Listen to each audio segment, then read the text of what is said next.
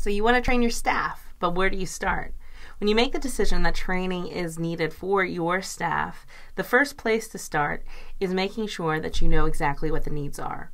Now, if you're really in tune with your organization, you probably know this already.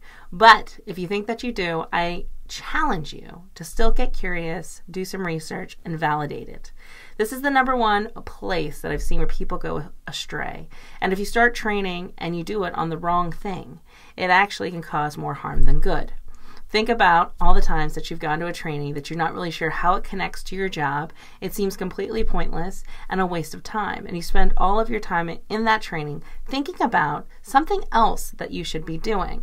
That is the result of not really understanding someone, not really understanding what the needs are within the organization.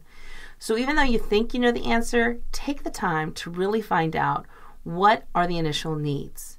Because giving the staff what they need, providing them training on what they need, is where you need to start. That is the top priority. So, good luck. And if you need help, give us a call here at leadershipizart.com or 717 430 2850.